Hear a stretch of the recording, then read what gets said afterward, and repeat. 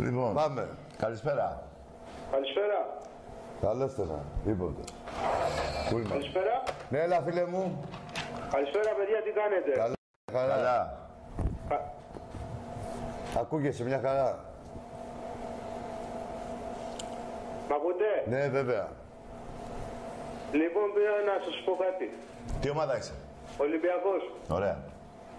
Λοιπόν, ε, μοιάζει είσαστε πελάτες. Μπράβο, Μπράβο. μαλάκα.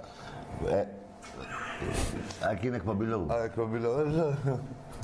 Μπράβο, Φλωρίτζιναλ και Βαζελάκο. Ποιος θα είναι, μωρέ, εντάξει. Ποιος ε, το λέει; Άκου τώρα, το, ε, ακούστε. Πελάτες δεν γιατί- λέγεται η λέξη αυτή σε Ναι, εμάς πουθενά. έτσι. Πες λίγο γιατί Όχι, θα πω. πες εσύ. Ναι, Ωραία. Α, Είμαστε Πες ρε Κεκέ. Ο Κεκέ θέλει να μας πει ότι είμαστε πελάτες; στο ποδόσφαιρο. Αν είσαι Παναθηναϊκός είμαστε 77-48 γιατί έτσι. Αν είσαι εξίδες 81-53 δεν πιστεύω να είσαι από εκεί πάνω, έτσι.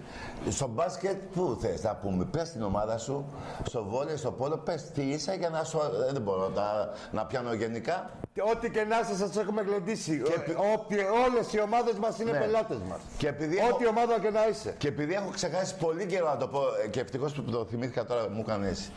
Λοιπόν, άκουσα κάτι. Στην Ελλάδα, ο Ολυμπιακός είναι η μοναδική ομάδα με όσες ομάδες έχει παίξει στην Ελλάδα να έχει παραπάνω νίκες. Το ξαναλέω γιατί είστε και βλάκες.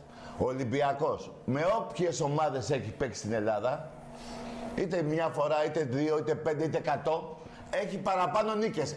Όλες τις ομάδες της Ελλάδος. Πώς βγαίνει το πελάτης δεν το καταλαβαίνω.